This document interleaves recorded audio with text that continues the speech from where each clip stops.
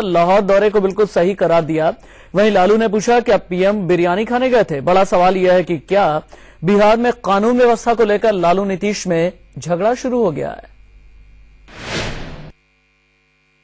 ये नरेंद्र मोदी या भाजपा की सरकार जो बोलती थी कि पाकिस्तान हमसे आँख में आँख नहीं मिलाएगा, छप्पन इंच का सीना है। हमारे घर के अंदर कैसे ये घुसपैठी आतंकवादी कैसे घुसा? इनके हाथों में देश इनके हाथों में सुरक्षित है ही नहीं। जवाब देना पड़ेगा। सेना का मंत्री गोवा में और ये पता नहीं कहा थे। रखो ना यार माइक और यहाँ डिबेट करते हैं।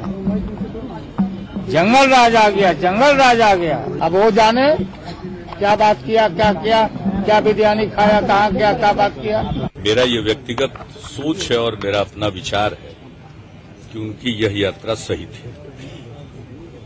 पाकिस्तान के साथ संबंध बेहतर हों, पाकिस्तान और भारत के बीच में जो विवाद के मुद्दे हैं, उनका हल निकले। इन सब चीज़ों के लिए यह आवश्यक है।